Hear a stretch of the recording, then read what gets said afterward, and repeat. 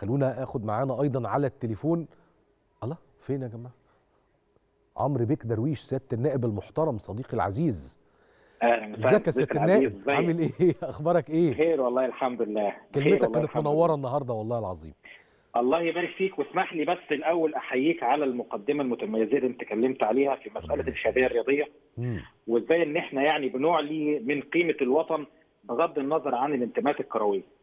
يعني خلينا نستمد من الروح اللي كان عليها الشعب المصري وجماهير الكرة المصرية وفرقنا في بطولة أفريقيا ونتمنى أن تستمر هذه الروح لأطول فترة ممكنة. ويا ريت لو إحنا بنشوف هذه الروح يعني اللحمة الوطنية والتكاتف والحماس والرغبة في رؤية مصر وهي بتنجح على المستوى الكروي لو إحنا شفنا الكلام ده على كل الملفات اللي إحنا بنتكلم فيها أكيد مصر هتكون في مرحلة أفضل بكتير من المرحلة اللي إحنا. موجودين فيها دلوقتي. طبعا أنا طبعا بحييك على المقدمة المتميزة. يا رب يخليك. وأتمنى أتمنى إن الجميع بس يتسم بالروح الرياضية. ده اللي إحنا محتاجينه دلوقتي. يا ريت. إن إحنا نتكاتف أكتر ما يبقى فيه خلاف أو تنازع. إحنا ناقصين فرقة. خلي الناس تتلم مع بعضها.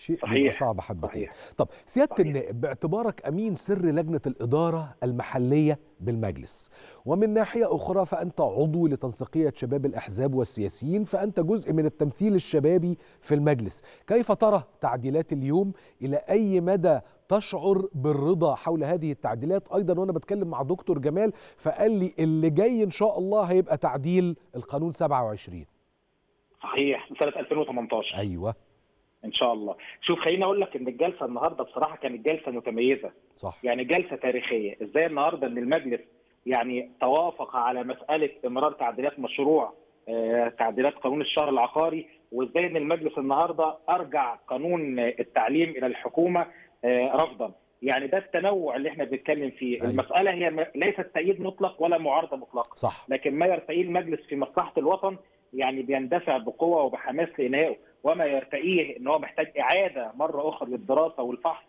آه، بنرجعه تاني للحكومة. لو إحنا هنتكلم على مشروع الشهر العقاري في الحقيقة هو خطوة مهمة ولكنها تستتبع يعني خطوات أخرى بالمناسبة. لكن خلينا نقول النهارده إن اللي حصل النهارده ده مكسب كبير جدا لمسألة تسجيل آه، الثروة العقارية في مصر صحيح يعني حلحلة لوضع من الركود والتأزم خلال عقود طويلة جدا في فلسفة إن أنا النهارده هل أروح أسجل العقار بتاعي بملكيتي في الشهر العقاري ولا كنت بكتفي بمجرد عقود آه، صحة التوقيع مم. النهارده أقدر أقول إن المواطن يستطيع بكل سهولة ويسر إن هو يروح يسجل العقار بتاعه سواء كانت شقته أو بنايته أو محله أو فيلته أو محل سكنه بشكل أكثر يسرا أكثر سهولة دون تعقيدات اللي كانت موجودة قبل كده في القانون. التعديلات اللي حصلت النهارده هي في الحقيقة أنا بشوفها إن هي متماشية مع اتجاه الدولة لحالة الملفات المتأزمة. النهارده لأول مرة بنشوف تطوير في مسألة كمان تسجيل الشهر العقاري. بنشوف النهارده إن آه، حلينا مشاكل كتيرة جدا زي فصل أداء الضريبة ضريبه التصرفات العقارية عن التسجيل تقدر تروح تسجل وبعد كده نشوف مسألة سداد ضريبة التصرفات العقارية. في الحقيقة دي كانت من أهم الملاحظات اللي موجودة النهارده وكانت مسار حديث. إنك أنت النهارده وأنت بتتكلم على قانون الشهر العقاري كان من الأوجب أن يتم التكامل ما بين بقية القوانين زي التصرفات العقارية وقانون المحاماة. زي القانون اللي تطرقنا إليه اللي هو 27 سنة 2018 المختص بالمجتمعات العمرانية. أيوه. لكن خليني أقول لك برضو بهذا القدر أقدر أقول لك إن إحنا برضو يعني ماشيين على الطريق السليم إن إحنا نصحح هذه المنظومة اللي كانت غايبة عن الاقتصاد الرسمي للدولة اللي ما كانش ناس كتير تعرف عنها حاجة اللي كانت الصعوبات اللي بيواجهوها في تسجيل ال- العقار أو الشقة المملوكة أو السكن يعني أو حتى كمان التجاري كان بيقابلهم عقبات كتير صح النهارده بالتسهيلات اللي, اللي إحنا بنقولها دلوقتي واللي قالها ضيفك الكريم آه، من شوية يعني الخلاصة أنه يستطيع الآن المواطن المصري أن يذهب لتسجيل عقاره بشكل أكثر يسرا وتسهيلا مما سبق. في بعض المعوقات والملاحظات آه طبعا يعني إحنا كنا بنتكلم النهارده على فلسفة تجهيز العنصر البشري. هل موظفين الشهر العقاري أصبحوا مؤهلين لهذه الخطوة آه، الإلكترونية ومسألة التحول الرقمي ولا لأ. النهارده كنا بنتكلم يعني أنا بحاول أوجد لك يعني صيغة النقاش اللي كانت موجودة النهارده. آه. بقدر ما إحنا بندفع العجلة لقدام لكن مجلس النواب ينتبه أيضا ووصل إلى الحكومة ومعالي وزير العدل أنا بحييه النهارده على يعني مناقشاته. يعني قدروا يوصلوا له التحفظات اللي كانت موجودة على عديد من النواب اللي كانوا موجودين النهارده. صحيح. لكن كخطوة ها. إيجابية خطوة إيجابية. نسمن جهود الحكومة فيها آه نسمن جهود صحيح. الحكومة فيها.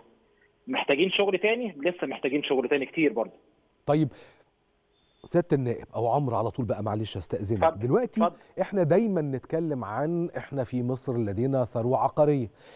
وفي نفس الوقت إحنا قاعدين بنفكر كلنا دايما في إنه إزاي أقدر أشتغل في وقت من الأوقات على تصدير العقار المصري وبالتالي أقدر بعد كده اجتذب ناس بتجيلي من كل حتة مش بس من عند الأشقاء العرب لكن ممكن يجيلي من أوروبا ومن أمريكا وبلاد تركب الافيال ويشتري عقارات عندي في مصر.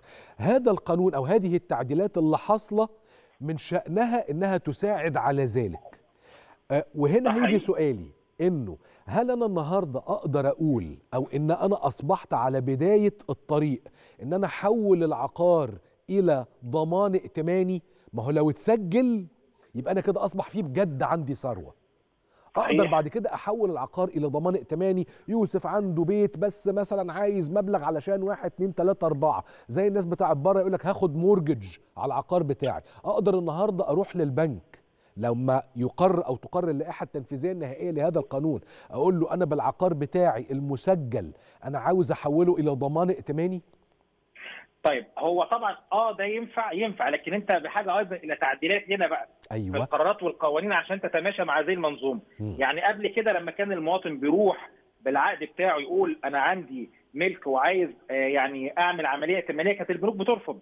آه. لكن تسجيل النهارده الثروة العقارية وإحنا بنسميها ثروة. طبعا. عقارية. نستطيع من خلال بعض التعديلات بقى اللي زي ما قلت لحضرتك في تكامل القوانين مع بعضها. نستطيع إن إحنا المواطن يقدر يروح بهذه الثروة العقارية يستطيع أن يحصل على آه، يعني تمويل آه، مالي. صح. يعني زي ما زي ما أنت قلت إحنا في بداية لسه الخطوات لكن دي خطوة مهمة مهمة جدا. أنت حلحلت الوضع الراكد. بتحط دلوقتي الثروة العقارية في مصر كلها على الطريق الصحيح الاقتصاد الموازي اللي كان بعيد عن الدولة واقتصاد الدولة. أيوه. أصبح الآن يعني داخل الاقتصاد الرسمي للدولة. كل بعد كده الأمور اللي هتظهر بقى الملاحظات قانون 27 مسألة الحصول على آه، ائتمان بنكي. آه. آه، فلسفة كمان سرعة التسجيل واستقرار الملكية. كل دي ملاحظات هنشوفها تطوير العنصر البشري آه، الرقمنة والتحول الرقمي.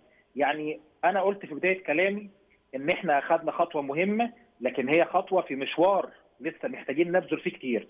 فالجزئية اللي حضرتك اتفضلت قلت عليها دي هتحتاج إلى تعديلات لكن إحنا ماشيين على الطريق السليم والصحيح عشان نصل إلى فلسفة الحصول على ضمانات ائتمانية بضمان الثروة العقارية. صحيح أنا بشكرك جدا جدا جدا. كما جرت العادة في العلن و... وما فيما بيننا وبين بعض كده لما بنتقابل على حقيقي على طريقتك في المناقشة وعلى الطرح بتاعك دائما. كل الشكر سيادة النائب عمرو درويش أمين سر اللجنة أو لجنة الإدارة المحلية وعضو تنسيقية شباب الأحزاب والسياسيين.